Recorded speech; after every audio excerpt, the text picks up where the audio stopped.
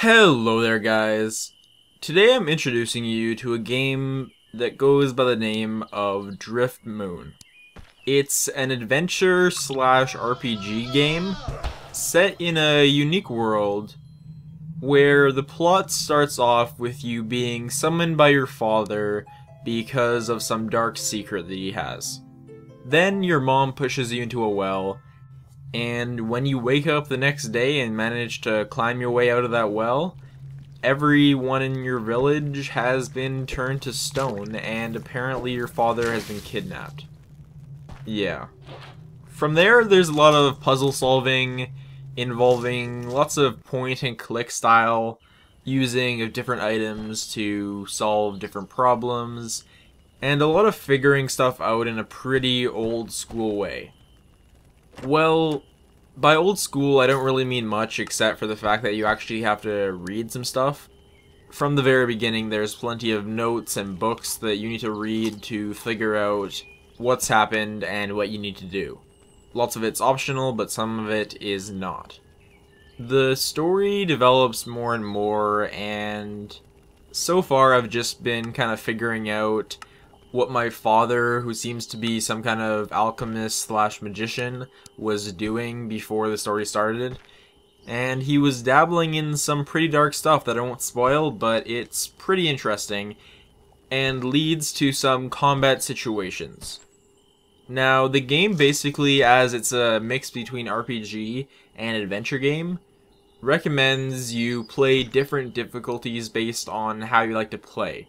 The first two difficulty modes are recommended if you want to play in a more adventure game style without having to worry about dying too much. But if you're more of a hardcore RPG player and want to worry about strategy and building your character to do combat well, then you're going to want to pick one of the harder difficulties. I'm just playing on normal. The controls of the game are pretty simple and pretty elegant. It's mainly just move around with either the keyboard or your mouse. You can move with the mouse as well. And then pretty much everything else is point and click style, and you just use your mouse to control. Various objects can be dragged around, and most things to do with items is just one button clicking, including picking up items and inventory management. It's really simple and easy to get the hang of. The crafting system is simple as well. You find recipes in the world and then you basically just click on the recipe and if you have the right ingredients available, then you'll make the item.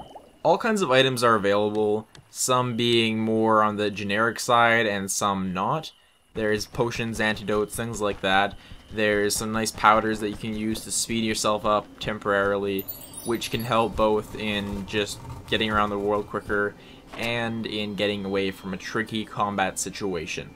So, as the controls don't get in the way at all, and combat only gets in the way if you wanted to, there's plenty of room for the puzzle solving and for the plot.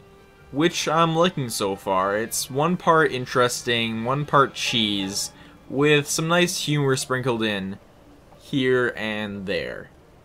The characters are wacky, but good so far.